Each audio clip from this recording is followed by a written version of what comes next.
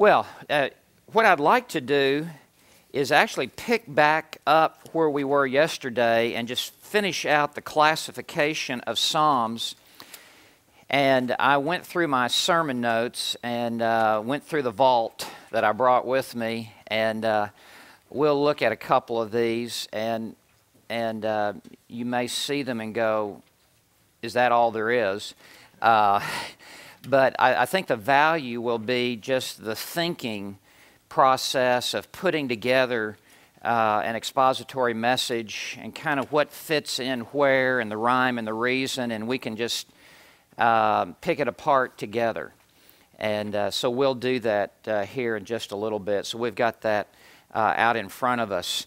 Uh, I'm on lesson two and page 60, looking at the kingly Psalms. And last time together, we finished looking at the teaching Psalms and the Torah Psalms, the didactic Psalms. And we, we need to be aware of just a few more uh, classifications of Psalms that I think will be helpful uh, to us uh, in preaching the Psalms. And again, to make this point, uh, they tend to unfold in similar ways, and so that's really why it's worth looking at this because as we construct a certain outline for a sermon, there are some major hooks on which we hang uh, our, our thoughts as we preach through them. So, in considering the, these kingly Psalms, these focus on the earthly king of Israel, the Davidic king, and sometimes that is David, and sometimes it is in David's household, and ultimately, uh, these look ahead to the greater Son of David, the Lord Jesus Christ Himself. So, considering the royal Psalms, they describe the reign of the King of Israel and his many conquests over foreign powers that threatened their national security. And I've listed here uh, these royal Psalms. Uh, Psalm 2, 18, 20, 21, 45, 72, 89. And a great example is Psalm 2, which we've already talked about, positioned right here at the outset of, of the Psalter. And, and there is a, a fairly repeatable theme that is woven through these um, royal Psalms. And the main heading, it begins in Psalm 2, and this is repeated in the other Psalms, sometimes in, in a different sequence in order but, but there is the, the enemies of the Lord and the enemies of the king. And in David's day, it spoke of the foreign powers and foreign nations that were rising up to oppress uh, Israel and these real threats upon the security of the people of God. And so in Psalm 2, for example, why are the nations in an uproar and the peoples devising a vain thing? Uh, the kings of the earth take their stand and the rulers take counsel together against the Lord and against his anointed, saying, Let us tear their fetters apart and cast away their cords from us. And these foreign powers now rising up against Israel and the Davidic king and his anointed in David's day, referring to the king who was anointed by God, empowered by the Holy Spirit of God to rule as king, and who is so identified with the heavenly king. And so, this close connection between heaven's king, Yahweh, and the Davidic king, David, anointed and empowered by God, and these surrounding nations uh, in opposition uh, against Israel. And of course, when we read the New Testament, uh, this is carried out in the crucifixion of our Lord and Savior Jesus Christ as the Jews and the Romans rose up uh, against Christ and, and, against God, and in essence, throwing off the, the yoke of God's sovereignty and God's word and God's lordship over their lives. And, and that's really what unbelief is it, it is a, uh, a resistance to the rule and reign of God over a man's heart. And so there are the Lord's enemies, and within their own heart, uh, let us tear their fetters together and cast away their cords. We will not come under the authority of God's word. and ultimately even looking ahead to the second coming of the Lord Jesus Christ as the kings of the earth, Revelation 17, Revelation 13, uh, will rise up against God and against His anointed in the end times. And so then there is the theme of the Lord's sovereignty. Uh, as we read in Psalm 2, verse, verse 4 He who sits in the heavens laughs. But it's a joke that's not even funny. It's the, it's the laugh of derision. It is the laugh of mockery uh, that, that puny man would resist Almighty God. And, and God just laughs at the insanity of that thought that even all the kings of the earth collectively would would seek to overthrow his sovereign eternal decree from before time began. And so he who sits in the heavens laughs. The Lord scoffs at them and their, the futility of their rebellion against his kingdom. Then he will speak to them in his anger and terrify them in his fury, saying, But as for me, I have installed my king upon Zion, my holy mountain. And this, this sense of the overruling uh, uh, display of divine sovereignty over the kings of the earth that would rise up against his appointed king. And then the Lord's victory that is ushered in as a result of the, the, uh, the display of God's sovereignty. Verse 7 of Psalm 2 I will surely tell the decree of the Lord. He said to me, You are my son, today I have begotten you. Ask of me, and I will surely give the nations as your inheritance, the very ends of the earth as your possession. And the next verse is so important. He will inherit them to judge them, He will possess them to damn them. You shall break them with a rod of iron, you shall shatter them like earthenware. And Revelation 19 uh, echoes these very words. Uh, fulfilled at the time of the second coming of the Lord's anointed uh, the Lord Jesus Christ as the kings of the earth gather together the valley of Megiddo to fight that last great battle of Armageddon. And Christ will burst on the scene riding his white horse, and, and the door opened in heaven, and on his thigh, faithful and true, and a name given to him that no one knows, meaning we cannot even comprehend the enormity and how exponential is his sovereignty as he comes back to conquer and to crush and to control the earth. And so the fulfillment of that. And so the, then comes the, the psalmist counsel. Now, therefore, O king, show discernment. Take warning, O judges of the earth. I mean, you need to think through the, the, the utter insanity of your unbelief to refuse God and to refuse His King. Worship the Lord with reverence and rejoice with trembling. Do homage to the Son that He may not become angry and you perish in the way, for His wrath may soon be kindled. How blessed are all who take refuge in Him. And so, this is kind of the main uh, flow of these royal psalms. God has established his king and he has anointed his king to reign. There is always opposition against his king.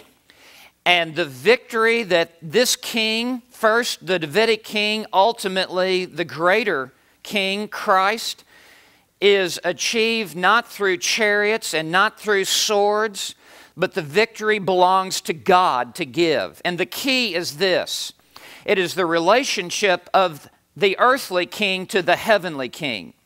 Victory is not found in horses and chariots and shields and swords. It is not found in, in, in the king's counsel to rise up and defend himself. Victory is found in the earthly king being rightly related to the heavenly king. And if the earthly king will come under submission to the heavenly king and honor and praise the heavenly king, then the heavenly king will give victory to the earthly king.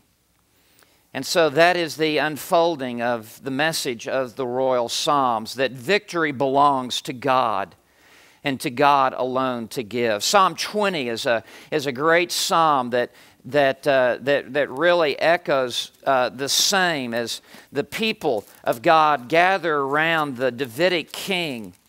Um, and the people pray for the, for the Davidic king. Uh, Psalm 20 May the Lord answer you and that you is, uh, is the earthly king. It is, in this case, I believe, David. And so the people gather around David before he goes out into battle and before he goes out to war. May the Lord answer you in the day of trouble. And the day of trouble is, are the foreign oppressors rising up against Israel. May the name of the God of Jacob set you securely on high. May he send you help from the sanctuary, and that sanctuary meaning the, the heavenly sanctuary. May your help come to you from the throne of God and support you from Zion, and this Zion being the heavenly Zion. May He remember all your meal offerings and find your burnt offering acceptable. In other words, may your heart be right with God. May you be found acceptable with God. Verse 4 May He grant you your, heart, your heart's desire. These are the people continuing to, to, to intercede on behalf of the royal king. May He grant your heart's desire. This is like 1 Timothy 2 1 and 2 that all petition be given to uh, be made on behalf of those who are in authority over you and fulfill all your counsel. We will sing for joy over your victory because your victory as the earthly king will be our victory. As it goes with you, will be how it will go with us. We will sing for joy over your victory, verse 5. In the name of our God, we will lift up our banners. And these banners being a declaration of the names of God. May the Lord fulfill all your petitions. And it presupposes that their earthly king will be seeking God in the secret place and calling upon Him for help. And now, verse 6. Uh, the people sense the answer to their prayers. Uh, they sense that they have been heard by God as they have prayed for their earthly king. Now I know that the Lord saves his anointed, that God will deliver the Davidic king out of this hour of crisis, and this Davidic king being the Lord's anointed. He will answer him, the him referring to the, the royal king, the earthly king. He, God, will answer him, the earthly king, from his holy heaven with the saving strength of his right hand. And so, what they are saying in prayer is, is that the victory will come not from their armies, but the victory will come from the Lord of hosts in heaven. So, verse 7 Some boast in chariots, and some in horses, but we will boast in the name of the Lord our God. Now, they do have chariots and they do have horses, but they are not trusting in them. Their victory will come from God exclusively. It will be God's to give or God's to withhold, and it will be dependent upon their relationship to, the, to the heavenly king, specifically the earthly king's relationship to the heavenly king. That's why they are so praying for the earthly king verse 8 they have bowed down and fallen, referring to their enemies, but we have risen and stood upright. God will make them fall, yet He will cause us to stand. And so in verse 9, save, O Lord, deliver out of this temporal crisis, rescue us out of this hour. May the King heaven's King, answer us in the day we call. So, this is a, a, a royal psalm which is offered on behalf of the earthly king. that God would grant to him the victory as he will lead them out into battle. But we will trust not in our human resources, we will trust exclusively in the name of the Lord our God. So these are, these are powerful, powerful um, Psalms. Um, Psalm 18 is, is, is one of these.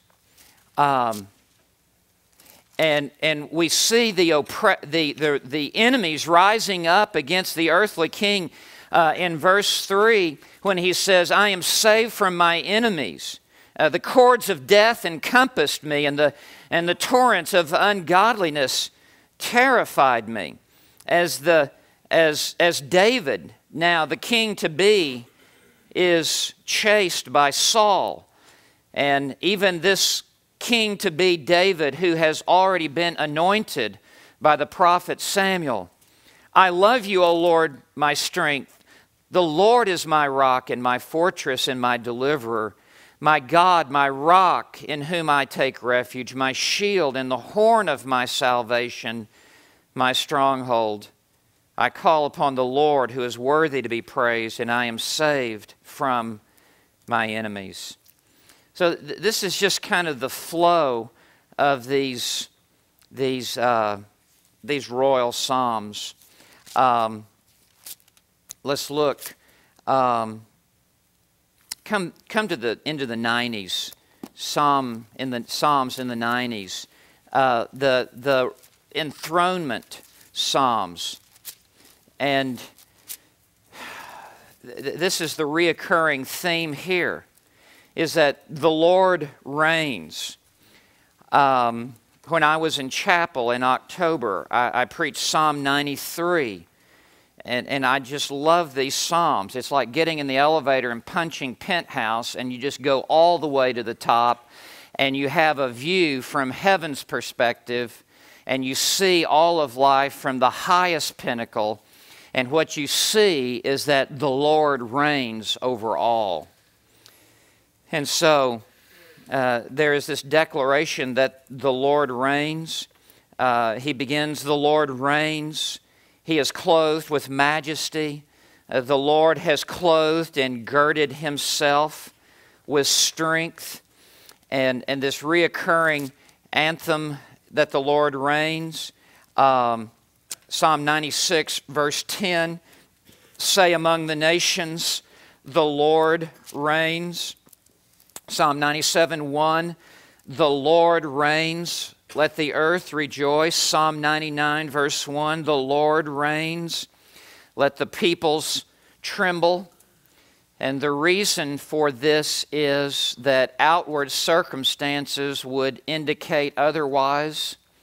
In hours of crisis, as it looks as Israel's circumstances look to be in chaos, uh, look to be uh, out, things look to be out of control, they are pointed upward to the heavenly King, and that God has not usurped his reign.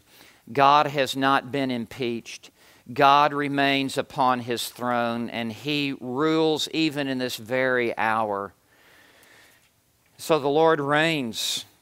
He is clothed with majesty. Majesty meaning the splendor, uh, the pomp, of, of a regal king clothed himself with strength and his sovereignty over all of creation, all that he has made, all that his hands have made, he reigns over it. The end of verse 1 Indeed, the world is firmly established, it will not be moved. Everything is in its rightful place, exactly where God has assigned it and there it will continue to be. And He's not having to realign the planets or things on this earth. His sovereignty is also extended uh, over time from all eternity past. Verse 2 Your throne is established from of old, you are from everlasting. God is reigning now as God has always reigned from eternity past, and His reign in the present is but the extension of his sovereign decree from eternity past. And he reigns over the nations, verse 3. Uh, the floods have lifted up, O Lord. The floods have lifted up their voice. The floods lift up their pounding waves. And what is sp- being spoken here is not that God is sovereign over the physical waves, but the angry uh, turmoil of the nations that are likened unto uh, flood tides here. And God reigns over the nations. Remember in Revelation 13 how the beast emerges out of the sea. And the picture there is out of the chaos of the last days. Um, and out of the chaos of the nations will emerge this man who will be the devil's incarnation. Well, the same here, and yet God is shown as, in verse 4, more than the sounds of many waters, more than the, than the, the, the, the waves saying, We will not have this man reign over us. Nevertheless, verse 4 the Lord, the Lord on high is mighty. That is to say, He is the King of kings and He is the Lord of lords.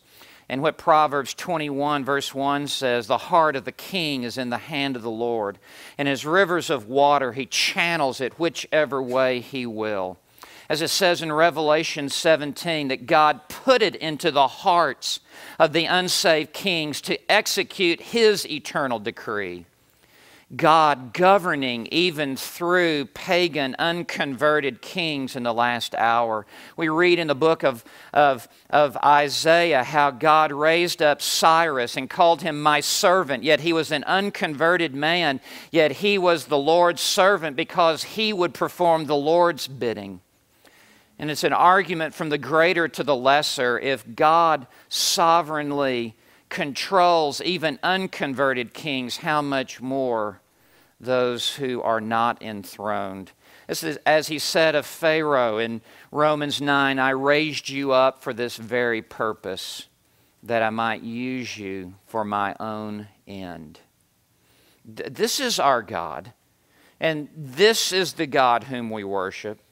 And this is the God whom these enthronement psalms declare. I mean, we, we need to preach these enthronement psalms. We need to pull these out about once every other month and just remind people who God is. And in seeing who God is, it reminds us who we are. And the higher we lift up God, and the lower we reveal man to be who he truly is, really the greater we magnify the grace of God that has spanned that difference. And the lower God is and the higher man is, it's a very small grace that has saved us. But when God is the most high God above the heavens and man is in the pit and in the mire of sin, now we have amazing grace. How sweet the sound. An infinite chasm has been spanned. That, that is God honoring preaching that comes through these Psalms. And so he says in verse 5 here is even his sovereignty over his own people. You see the unfolding here God's sovereignty over creation, verse 1, his sovereignty over time and eternity, verse 2, his sovereignty over the pagan nations, verses 3 and 4, but even now his sovereignty over his own people, verse 5. Your testimonies are fully confirmed. His testimonies, meaning his word, that God executes his government in the midst of his people being mediated through the teaching and preaching of his testimonies and of his word. And as God's word is proclaimed, there is a top to bottom unfolding and layering out of God's sovereign reign. And what does it produce in the lives of his people when his testimonies and when his word is made known holiness befits your house. Like produces like. And God's holy word produces holiness in the lives of his people, and it befits your house, O Lord, forever. So, these are the enthronement psalms, and they are powerful, and they are regal, and they are noble, and they declare, as A.W. Pink says, that God is God, that being the definition of his sovereignty. That God is simply God, not merely in name only, but in the execution of all of his attributes and all of his character. God is God. We come to the imprecatory Psalms, the end of page 62, and, and these are filled with fiery zeal, bleeding out of the heart of the psalmist for the justice of God, for the holiness of God. And really, these are not self vindictive psalms because the psalmist never takes any of these matters into his own hands. He simply calls upon God to be God and calls upon God to do what is right upon the earth. There are individual imprecatory psalms, there are community imprecatory psalms. Uh, Psalm 35 is an example of an imprecatory psalm. And uh, these individual ones Psalm 35, 55, 59, 79, 109, uh, surrounded again by Israel's enemies. The psalmist pleads for God to intervene. Psalm 35, 1 Contend, O Lord, with those who contend with me. Fight against those who fight against me. Now, notice, David is not saying, I am taking matters in my own hands. He is asking God to intervene and to fight his battle for him. Take hold of buckler and shield and rise up for my help. In other words, God, equip yourself that you might go forth into battle for me. Draw also the spear and the battle axe to meet those who pursue me. Say to my soul, I am your salvation. God, preach to my heart. Remind me that I am your deliverer. I will burst on the scene and intervene on your behalf, and you will not have to take vengeance into your own hands. I will defend you and I will fight for you. I say to your soul, I am your salvation.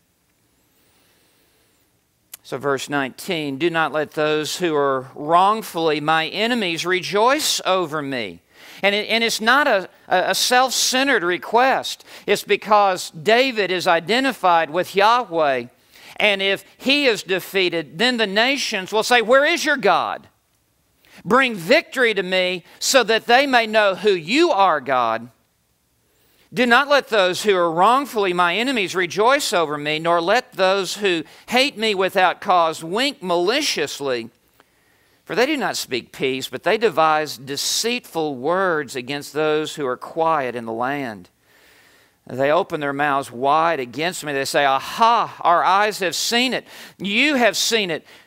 O Lord, do not keep silent. O Lord, do not be far from me. Stir up yourself. Rouse yourself, God. Awake to my right and to my cause, my God and my Lord. Judge me, O Lord, my God, according to your righteousness. And do not let them rejoice over me. This is not a self righteous man looking down his long nose at others he invites God's, God's judgment within his own heart in the midst of this. God, judge me, and then go forth and judge them. Do not let them say in their heart, Aha, our desire. Do not let them say, We have swallowed him up. Because to defeat David would be to cast disdain upon the name of God in the eyes of the pagan nations. So he expresses the imprecation. The word imprecatory imprecation means curses, uh, God's judgment upon them. Let them be ashamed and dishonored who seek my life. Let those be turned back and humiliated who devise evil against me. Let them be like chaff before the wind with the angel of the Lord driving them on. Let their way be dark and slippery, with the angle, I think it should be angel of the Lord pursuing them. For without cause they hid their net for me, without cause they dug a pit for my soul.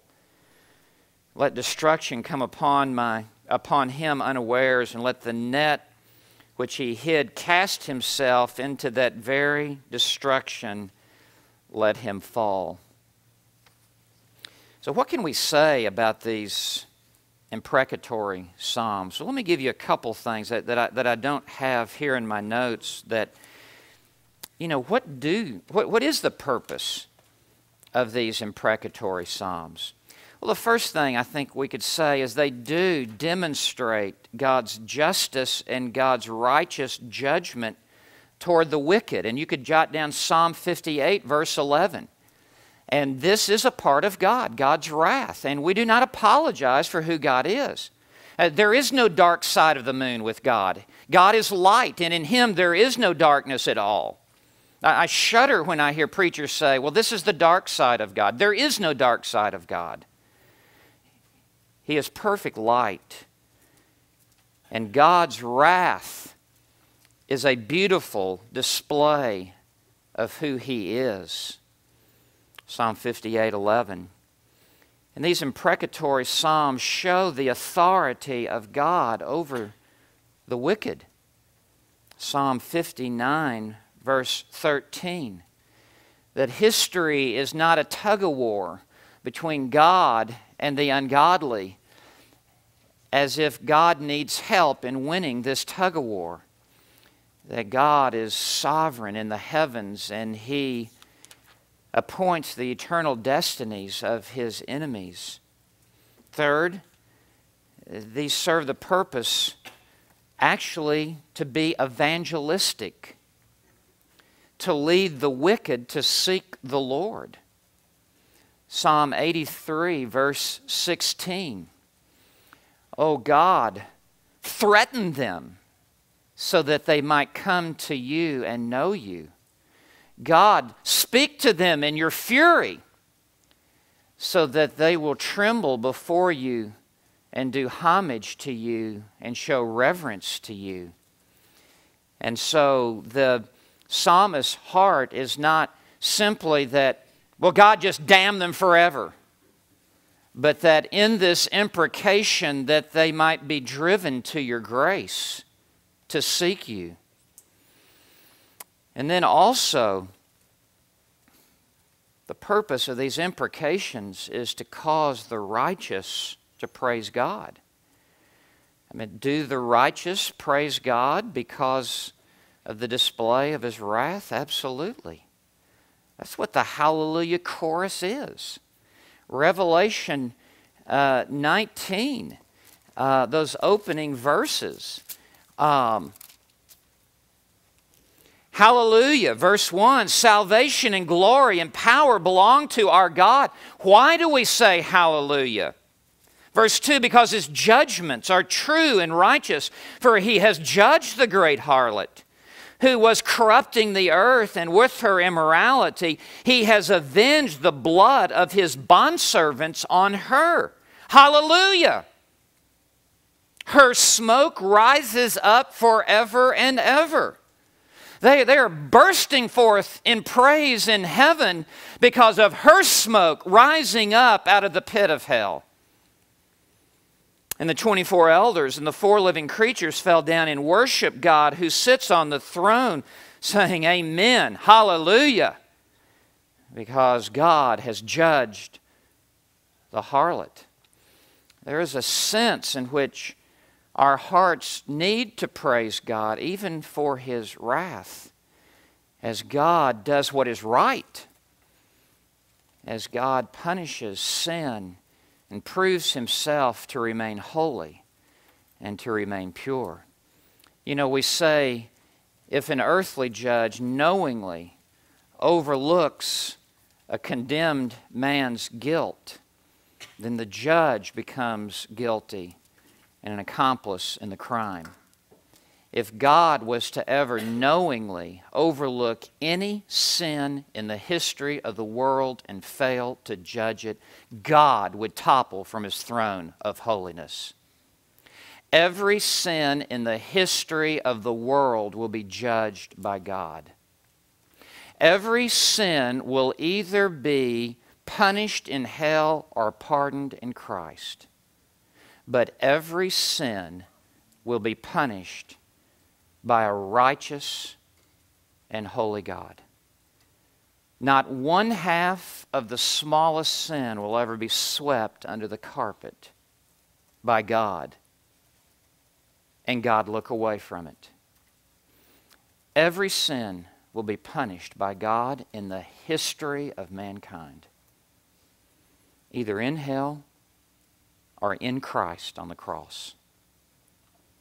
And so these imprecatory psalms are merely the psalmist interceding with God to be God and to put his glory on display. And in the psalmist's heart is a desire God, if they will not be saved, judge them. But even use your fury to awaken within them their finiteness, that they might come and bow before you. Um, I know this is uh, later in the course, we're going to talk about application, but um, especially here, we get into some sticky situations where people have used these to. Uh, I'm, I'm the righteous one, and those people Yeah. are against me. Uh, we can Yeah. talk about it now. maybe. Yeah, I mean, let's talk about it. Yeah, I mean, I, I think we, like if someone's after us in the church for the scripture reading, you know, for the worship service, I mean, we can't read an imprecatory psalm and then, wi- and then wink at them. I mean, that's like misusing the scripture and misusing the pulpit. And, you know, as the the reformers taught the analogy of Scripture. We interpret Scripture with Scripture, and as Thomas Watson said, as only a diamond is sharp enough to cut another diamond, only Scripture is sharp enough to interpret Scripture. And taking in the full counsel of God, Jesus said that we are to pray for those who persecute us and to love our enemies. And even Jesus upon the cross is not spouting out these imprecations, but there are, there are words of mercy coming from his lips. And even when Judas rose up to betray him, he handed him a morsel of bread, as if to extend even common grace kindness to Judas as he went out into the night to betray the Lord. And so, yeah, we, we, we cannot use these as a trump card with people and say, well, then the Lord judge you and the Lord damn you type of thing.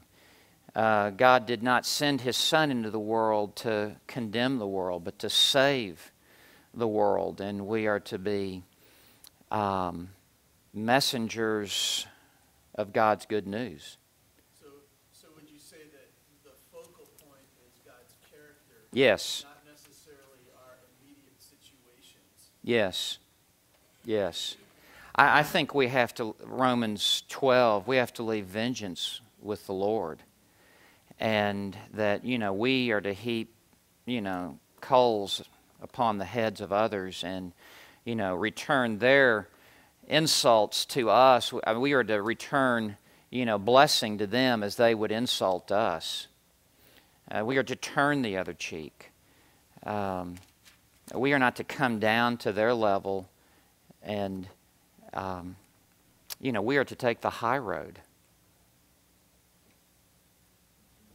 I mean, these are sticky Psalms, and, and we must preach them pastorally and very carefully. But I think they are to hear the thunder of these Psalms, and we don't hit the mute button when we preach them. They are to contain all of their thunder as we preach them, but we are to preach them desiring that sinners under the wrath of God would flee to Christ for salvation and be saved in Him. Dr. Lawson, would you illustrate what you just said with uh, the end of Psalm 137 with verse 9? Thank you for bringing that up. Um, illustrate. illustrate. how would you how would you go through this verse in, in the context of preaching it and bridging bridging the New Testament in, which is of course very legitimate, but just how? Yeah, sure. Well, I was hoping to get out of the class without being asked this question. I was hoping to go visit with Dr. Barrick first before report into the drill sergeant before I speak to you. Well, Psalm 137, verse 9 How blessed will be the one who seizes and dashes your little ones against the rock. It's not one to put on your refrigerator, you know.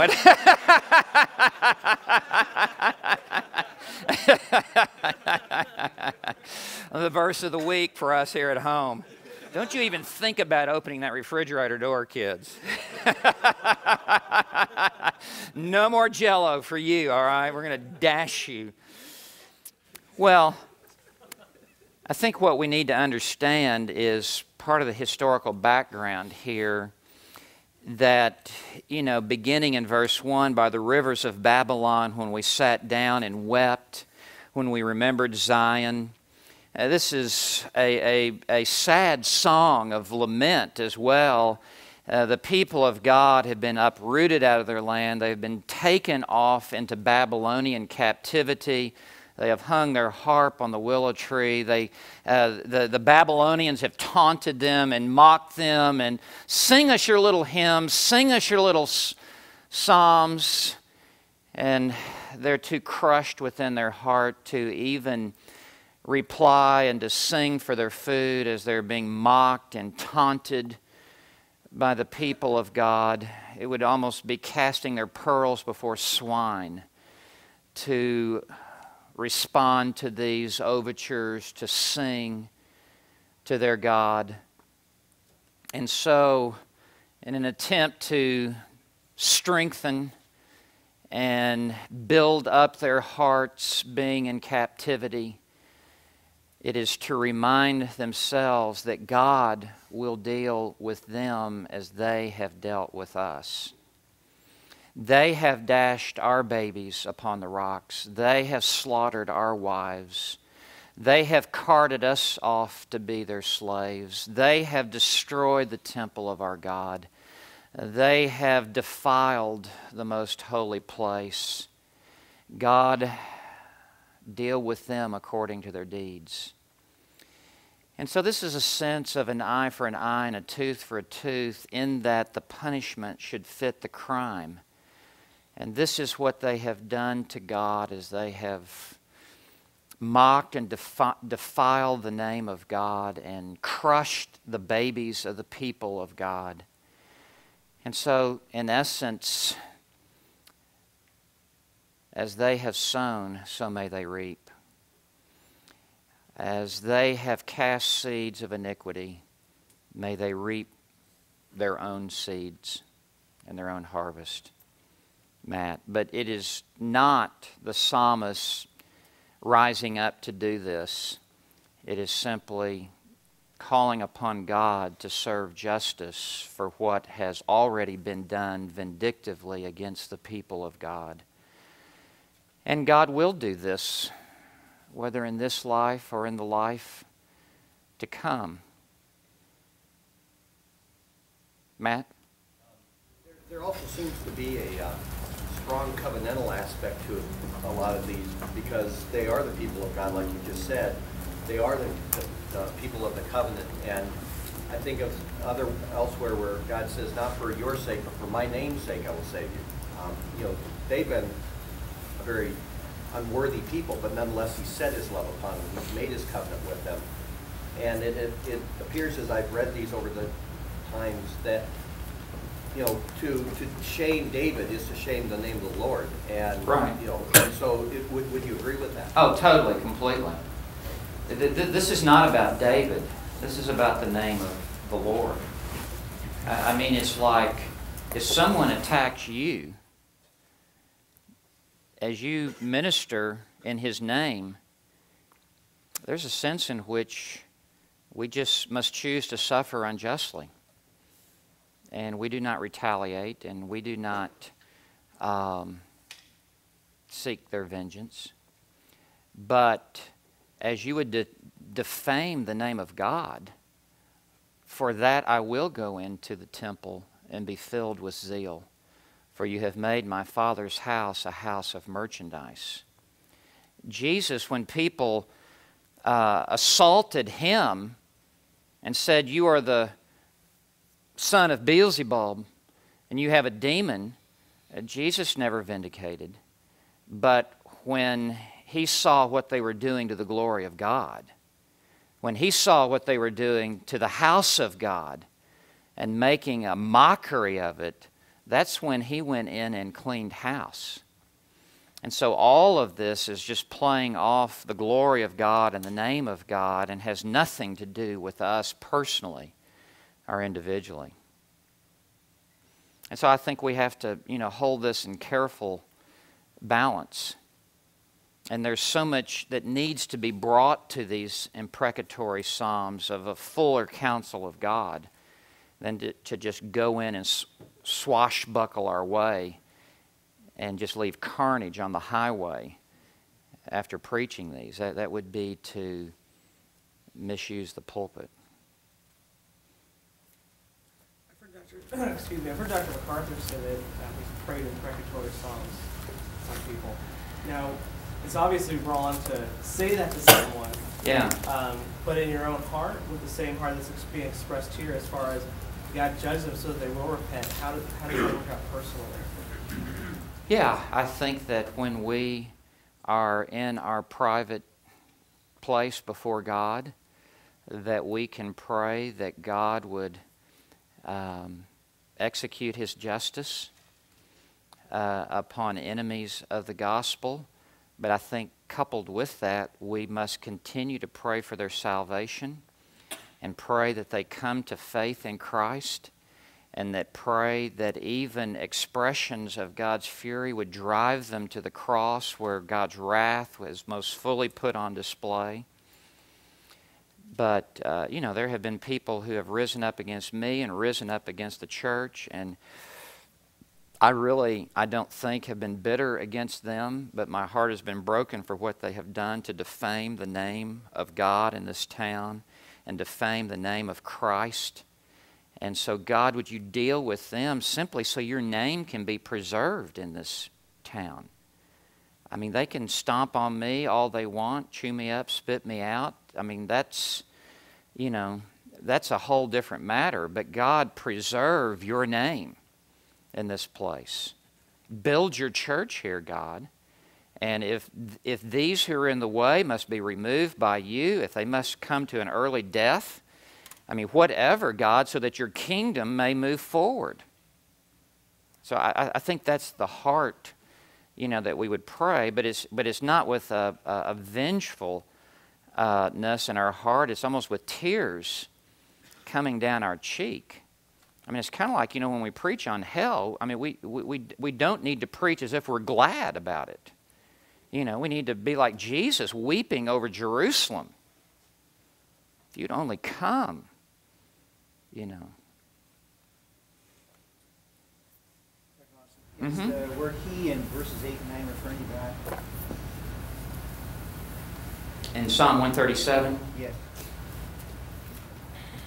Blessed be he, and blessed be he.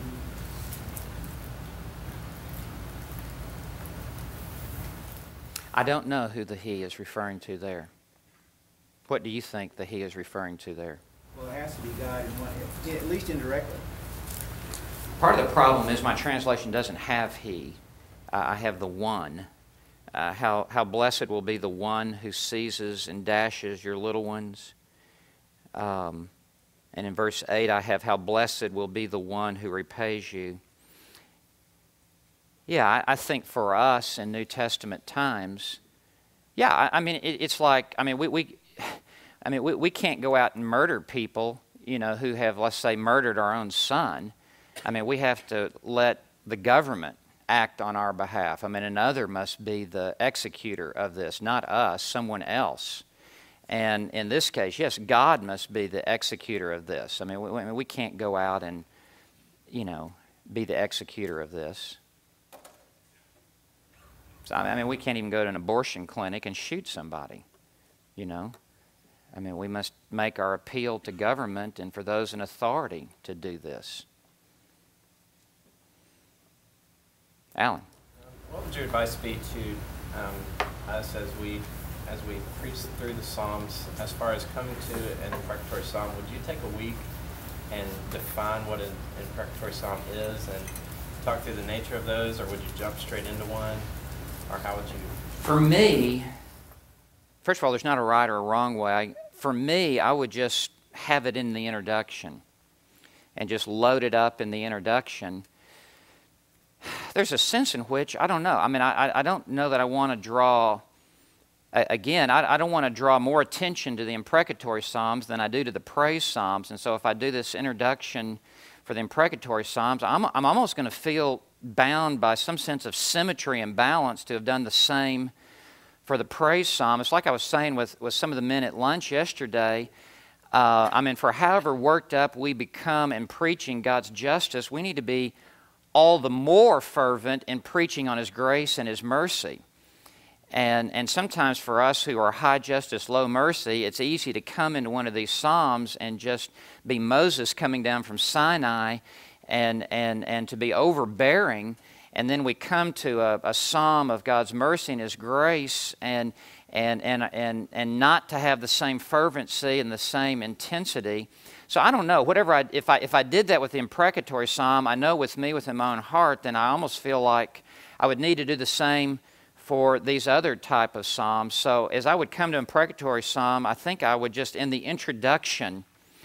I, I think in order to be provocative, I, I, I, would, I would take my Bible and I would read Psalm 137 and I would end with verse 8 and 9 and I would just look up and say, What are we going to do with this? And I think everyone would just be in suspense. and I would almost milk it by saying, "So are we to, you know, to take babies and just dash their heads into rocks? Is that what this is saying? Are we to?" And I would just kind of layer that out, and and people are almost like ready to say, "Well, tell us what are we going to do?" And I would try to contextualize it. Does this allow us to go into abortion clinics and and kill abortionists and et cetera, et cetera? Um, and I would, I would then say, well, let me tell you, before we get into this psalm, let me tell you four things about imprecatory psalms, which this is. And I, people would be scurrying to, to write it down. And we need to keep this in perspective in the full counsel of God.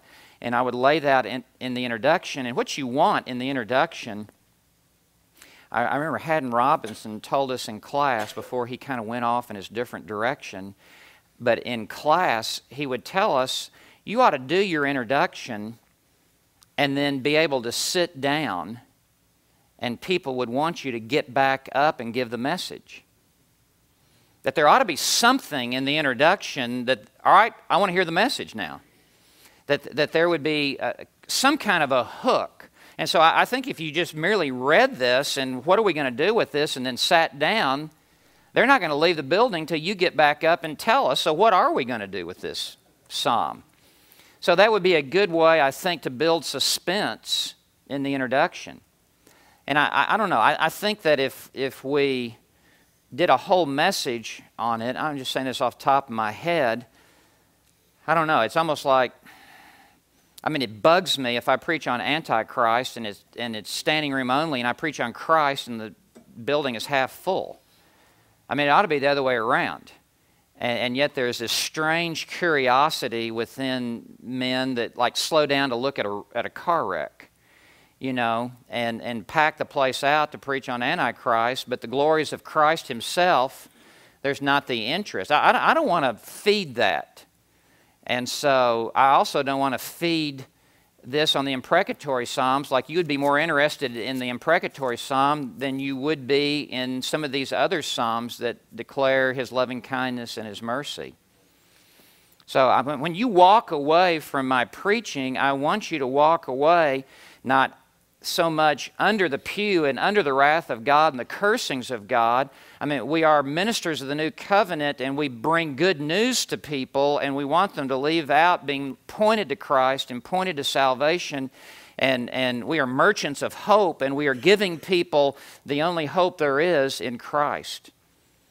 And so, I don't know, as I would work that out, I just, I, I just wouldn't want to be known as, as is as you know the, the imprecatory psalm pastor you know and and now I've done a series of five messages overviewing the category of imprecatory psalms you know and and that's what I'm known by. I, would rather be known by the triumph of his grace. So. Is there a sense of uh, imprecatory psalms and, and uh, like Jonah's attitude and Habakkuk's attitude uh, the basically the Jewish uh, lack of evangelistic um, spirit versus God's attitude. I mean, you see God sent Jonah to witness to the Assyrians or you know Ninevites, and he's, he sent you know. I, I, I don't think we preach the imprecatory psalms and then cast criticism on them that like well they just lack a heart for God. I, I think there's a purity about them. And so I don't think we apologize for the imprecatory Psalms and say, well, they, uh, he obviously has no evangelistic heart for the Babylonians. I, I, don't, I don't think we say that. I, I, think that's to read in what is not there and to make assumptions that are, are not stated. Is there a way to balance it, though? As you would show this to the people, wouldn't you want to show that that's not the psalmist's attitude that he wants to just go out there and be. Well, I, I would turn to some of these other places where the psalmist says, "Let the nations be glad," and that our bringing, you know, the nations can't be glad until they know God, and they can't know God until one be sent, and and the sent one must bring the message. And so our desire is that the nations would be would find their fulfillment and gladness in the Lord Himself.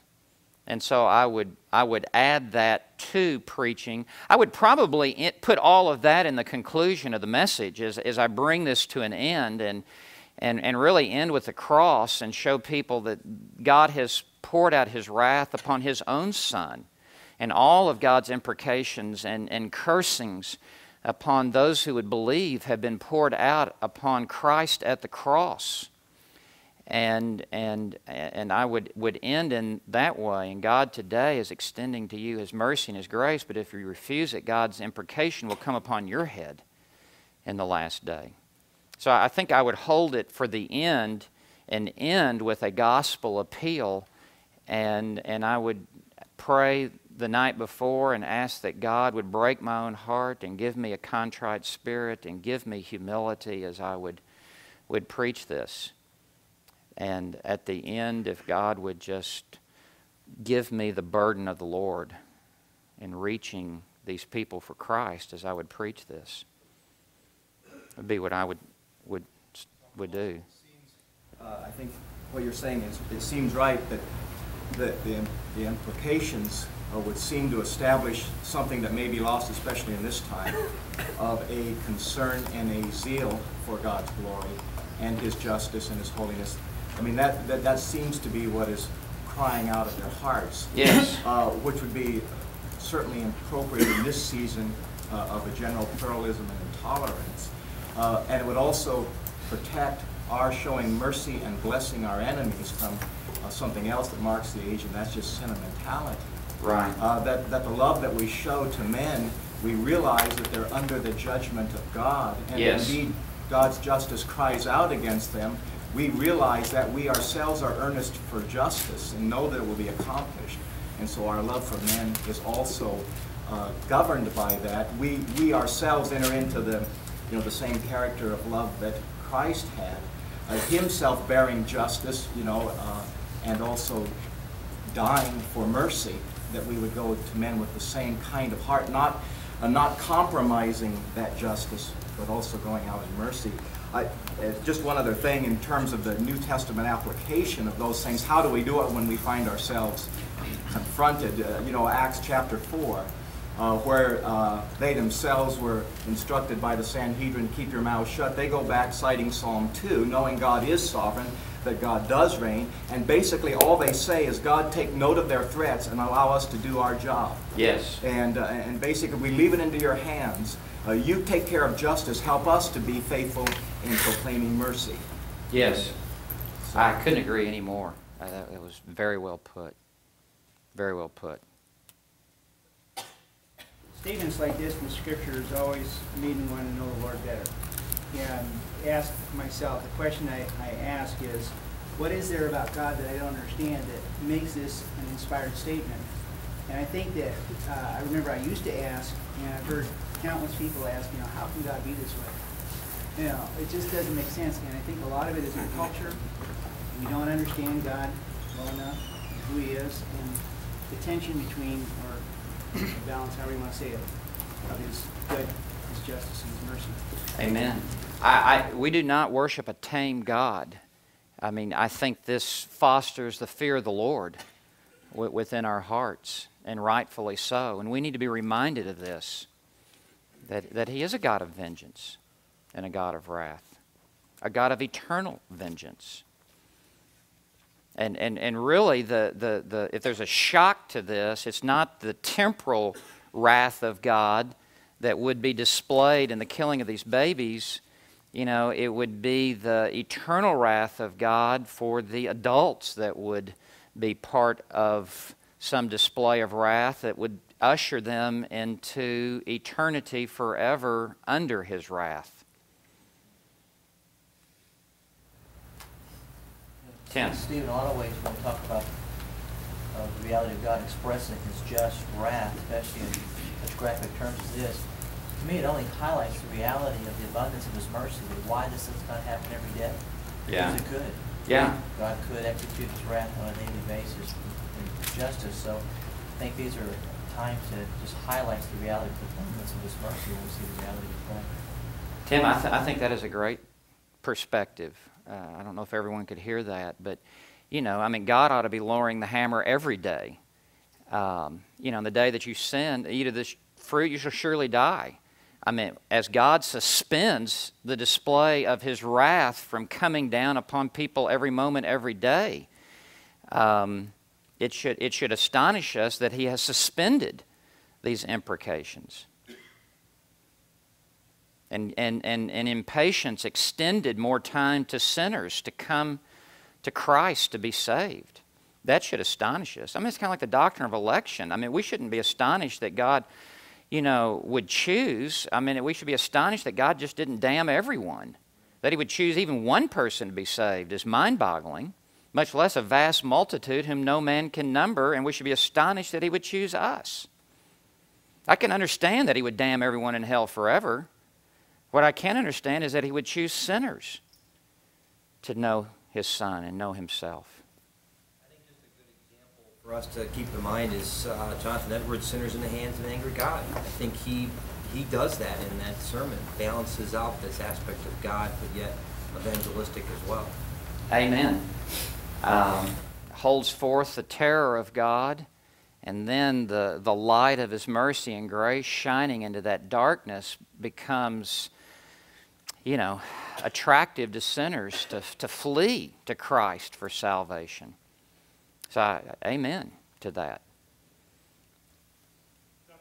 I find help uh, in interpreting the imprecatory Psalms with the thought that uh, because this is pre-Christ, pre-atonement, they didn't have categories for how justice and mercy would converge, whereas us on the other side of the cross have the ability to extend mercy because justice has been satisfied. Is, is that an oversimplification in your mind? Do you think that does justice to the weight of God's holiness and judgment that you'd want to bring out in preaching the imprecatory psalm? I, I don't think that that, Bob, removes the tension that we're feeling in our heart that this was pre cross and now we're post cross. And so now there is no imprecation and now there is no justice. I mean, it's like John 3:36. I mean, right now the wrath of God abides on every unbeliever. And so just the fact that, that God so loved the world, He gave His only begotten Son, it, it's not that now just God's happy with everybody, you know, on this side of the cross. uh, is God is angry with the wicked every day. And, and, and the wrath of God has been revealed from heaven, or is being revealed, present tense, from heaven against all unrighteousness. And so God's wrath is, uh, even on this side of the cross, abides on every unbeliever. And so I, I, I, I don't think that that actually removes the tension that we're feeling because there's still the tension of God's wrath and God's love on this side of the cross.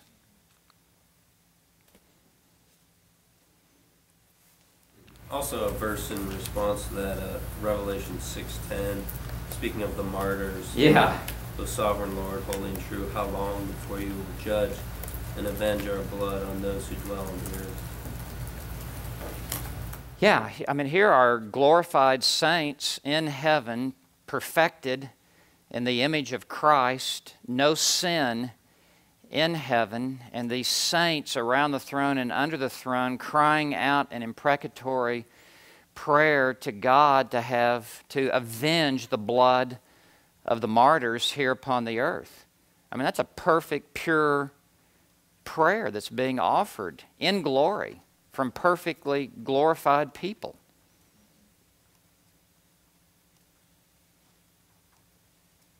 So I, I, don't think we water down the imprecatory Psalms and just say, well, he, he wasn't evangelistic and he needs to be evangelistic. I think that's an oversimplification. Here are, here are glorified people in heaven praying these.